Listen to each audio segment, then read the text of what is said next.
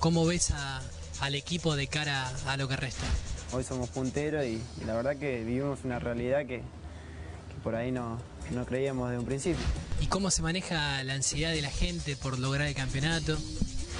Es una presión muy linda, creo que nosotros también obligamos a que la gente nos, nos pida y, bueno, creo que dentro de todo Tigre ha hecho un, muy buen, un, buen campeonato y, hoy por hoy tenemos la obligación de, conseguir un objetivo o el otro, ya sea el campeonato o, un pase a la Copa Libertadores. La virtud también es la humildad, cómo se trabaja el día a día, yo pienso que, también el cuerpo técnico es muy positivo para nosotros porque dentro de todo vemos que, el grupo está bien y, y, eso nos llevó a que hoy por hoy estemos peleando ahí arriba. 23 puntos son los que acumula Banfield en este torneo y aunque ya no tenga chances, la última fecha de la apertura será muy especial para los de Burruchaga, ya que tendrán la posibilidad de visitar el elenco de Diego Caña.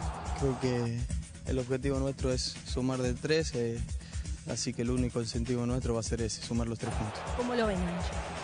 No, creo que bien.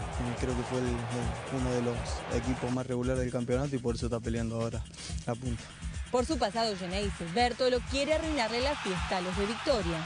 Me debo a Banfield el único incentivo mío es, sumar los, los tres puntos si llegamos a nuestro objetivo que serían los 26 puntos.